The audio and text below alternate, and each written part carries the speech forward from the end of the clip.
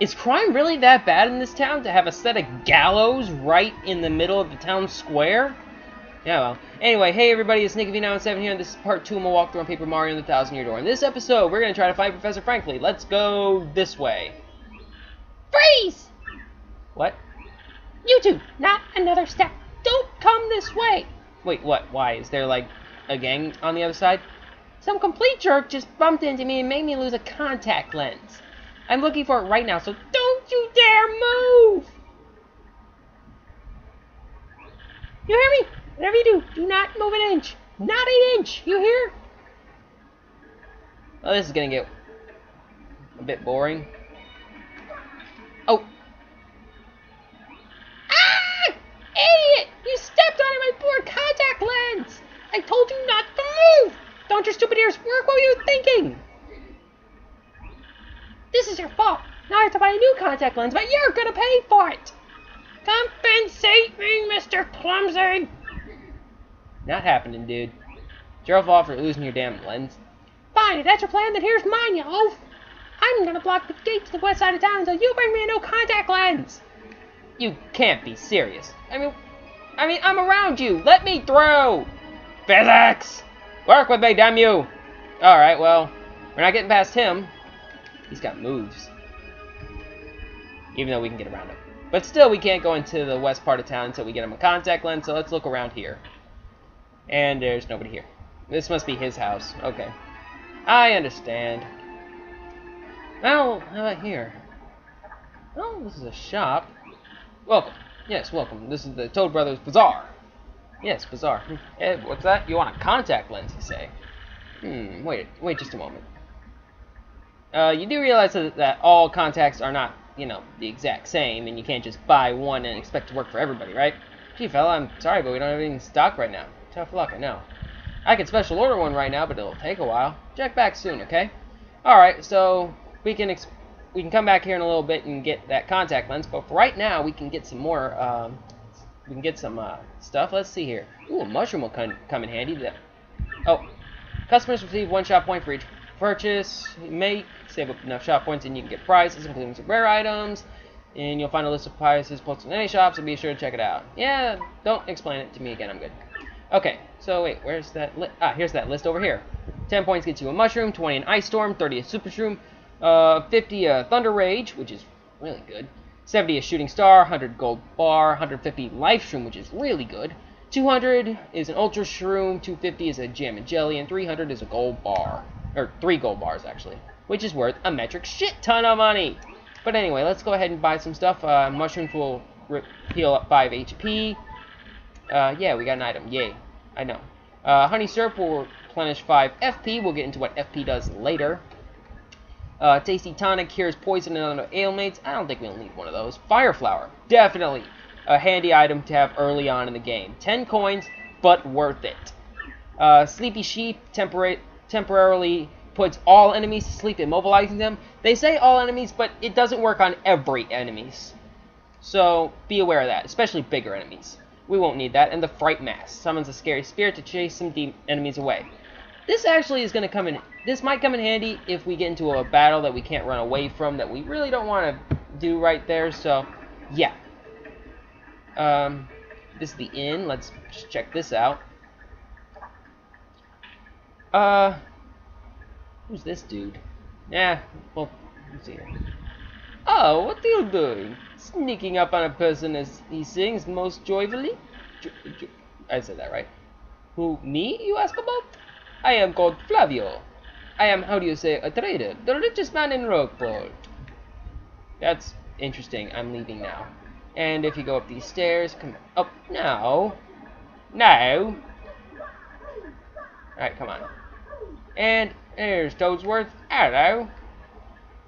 What's over here? Oh, look at this. Go over here.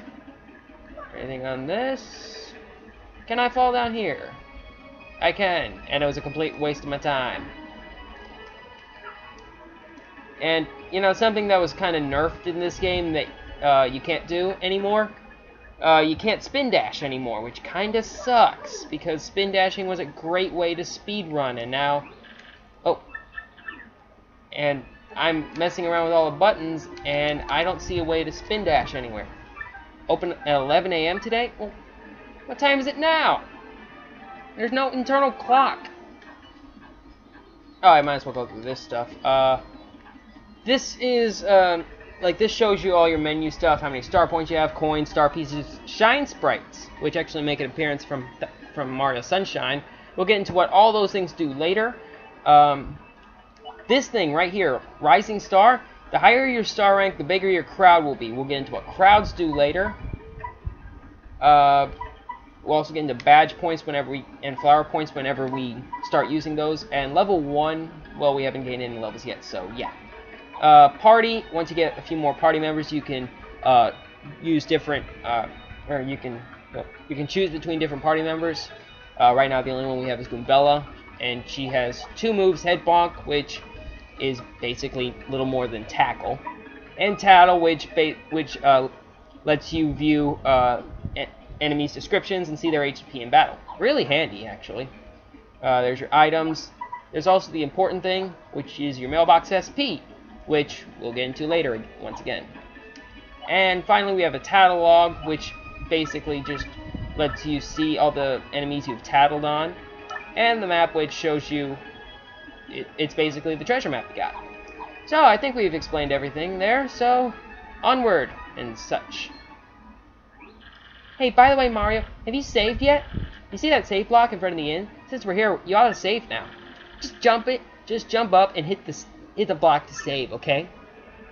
Yeah, you're right. I don't think I have saved yet. So, yeah, just hit the block, hit yes, and boom, game saved. Couldn't be easier.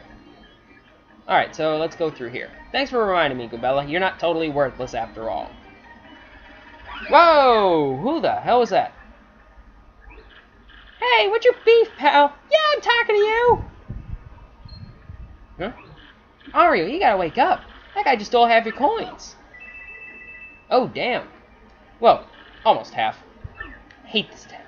Alright, now, to find this guy, you gotta go back which is kind of sucky without the spin dash. Oh, I love the spin dash. Go over here. Go to this uh, little ghetto. Open the damn door, you fool.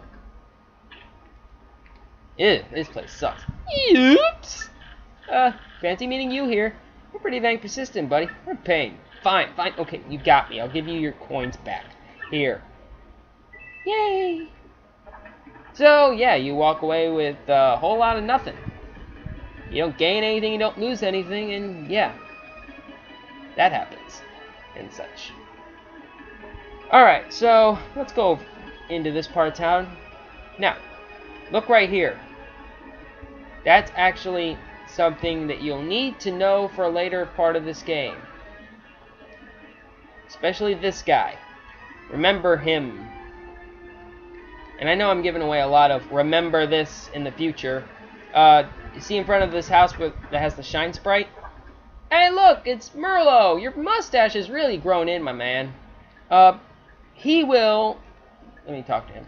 He will basically um, improve, or he'll level up your partners.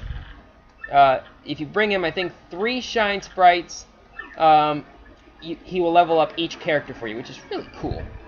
And we'll get into Shine Sprites later, but this right here... Hey, there's the old Goomba we're looking for. Oh, hi! There you are, Professor Frankly! Who's there? Who wants me? Ah, yes, you. you now, you, uh, I've seen your face before. Uh, that face, yes, that face.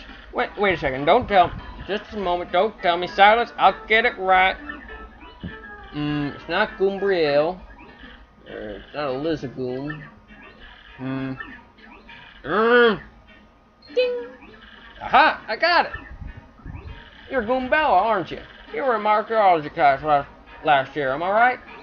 Wow, yes, sir, that's me. I'm Goombella. I'm a junior at U Goom. Go Goombas! So you're telling me that the University of Goom's mascot is the Goombas. Gee, bus Christ. Of course I remember. I'm, not to my own horn, but I'm pretty good at remembering. You, though, you stick out in my mind because you're an exceptional student. And that guy behind you is... Woo! Who? Oh, anime fall. Mario, Professor, he's Mario, you know the famous one? Oh, my apologies. I'm such a bookworm. I don't know what about what's hip right now. Uh, the, the Princess Saber! Dumbass. Anyway, in any case, what, what sort of errand brings you two all the way to a place like this? We were hoping you'd tell us about the legendary treasure said to be below Rogueport. I thought that if anyone would know anything about it, it would be it, you would, Professor Frankly. Of course I know about it. The reason I came here was to study that very subject. But why do you takes want to know about the legendary treasure? You know that most say it's little more than a fairy tale, don't you? Yes, every old person has to have a southern accent. It is the law. Archaeologists and historians have to search for truth in those fairy tales, though. Me, I believe in the legendary treasure truly does exist, and I really want to find it. Good point, and well made. In that case, I'll cooperate with you however I can. First of all, about the treasure. There are many mysteries surrounding it. Some say it's an infinitely vast treasure hoard, while others say it's a mystical item. Damn, I'm, I'm making him sound like W. well, some books say it's actually a monster, while others say, claim, uh, while still others claim it's an empty chest. I believe it stores weapons of mass destruction. so many different theories, obviously it's impossible to find the truth among them. But all agree on one point. To find the treasure, one must have the crystal stars. To find the crystal star, to find the treasure of yore, take the seven crystal stars to the thousand-year door. You mean the crystal stars in that old saying that super elderly people pass down? super elderly it makes him sound like a superhero. Got the drum! super elderly. Indeed, the same. As the saying goes, if you want to find a legendary treasure, you must first collect seven crystal stars. Hold the magical map aloft before the entrance of the thousand-year door. Then the stars will light the way that lead to the stones of yesterday. Yeah. A lot of lore I've read says that the magical map is taken to the doorway, then it'll show you where to find the crystal stars. Correct. And the thousand year door is supposed to be supposedly deep beneath this town. Yet the critical piece of the puzzle, the magical map, is lost. If only we had that map. But we do have it, Professor. Or well, not we exactly. Mario has the magical map. Dun dun dun! What? Really? You, you actually have it? Can I take a quick look at it? If you don't mind. Here you go. Astounding. This is it? The real thing? The one and only magical map? Yeah, trust me, there's going to be a lot less exposition later on in the game, so hang tough. You, son, are my hero. You're great, fantastic, wonderful even. With this, we can find the crystal stars just by holding this aloft before the legendary door. Right on, Professor. Good golly, what are we doing sitting here? Goombella, Mario, off we must go to Sunset, take the magical map to the legendary door. Okay, and by the way, see this trash can? It will come in handy too. After every boss. Just keep that in mind. I bet you didn't know this rotten old thing came off, did you? Whoa, hello. That just happened. We can use this pipe to get down under the city streets. Come on, both of you. Let's get moving. Alright. We can't take on this guy yet to get to the east part of town, but we will eventually. Oh, wait, hang on. Mario, something occurred to me. Yo. I'm fairly certain there are quite a few hoodlums below, uh, so uh, keep your guard up. You do don't know about act. Oh yeah, I already uh, showed off action commands. I think in the fight against that one crump dude. Really? A master, are you? Well, maybe you ought to practice them once, just to be safe. No, no, thank you. I'm good. A bold young lad, aren't you? Right there. Down we go. And just stand on this old pipe and tilt down to enter it. Well, we will do that in the next part. So, in the next episode, we will head down into the underground of Rogueport. So, this has been Nicky V97 saying thanks for watching and stay tuned for part 3 of my walkthrough on Paper Mario and the Thousand Year Door. I'll see you guys later.